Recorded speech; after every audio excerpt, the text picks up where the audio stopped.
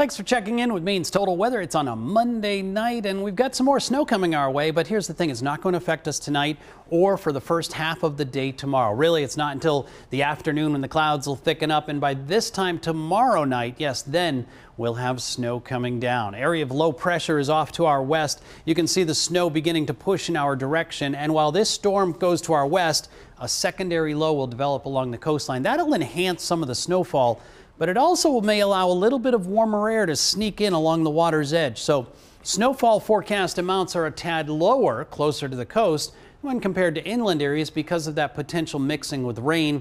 Timing on that wouldn't be until well after midnight tomorrow night into the early morning hours. 8 to 12 inches in the mountains, 4 to 8 inches across interior, Lewiston, Auburn, and Augusta, and slightly lower amounts because of the possibility of mixing with rain. Eight day forecast then on Wednesday. The snow ends early. We'll see some sun, snow showers or squalls late in the day. That'll mark the arrival of the Arctic air with tumbling temperatures and highs only between, say, 10 and 15 on Thursday.